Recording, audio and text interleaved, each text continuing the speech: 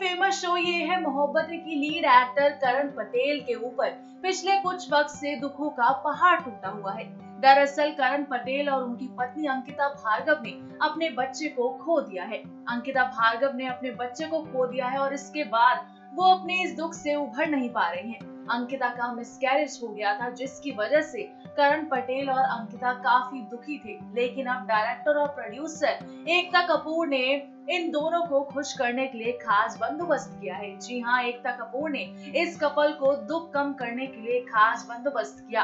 एकता ने अपने घर पर एक गेट टुगेदर रखा जिसमें टीवी के कई एक्टर्स वहाँ शामिल हुए थे। बता दें एकता कपूर की इस पार्टी की जितनी भी तस्वीरें सामने आई हैं, उसमें करण पटेल और अंकिता भार्गव के चेहरे पर मुस्कान देखने को मिली है।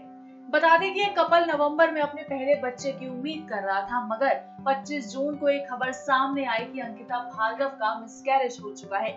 वेल अब एकता कपूर ने करण और अंकिता को खुश करने के लिए काफ़ी मज़ेदार तरीका निकाला था और जो तस्वीरें सामने आई हैं, उसमें अंकिता और करण पटेल काफ़ी ज़्यादा खुश नज़र आए हैं।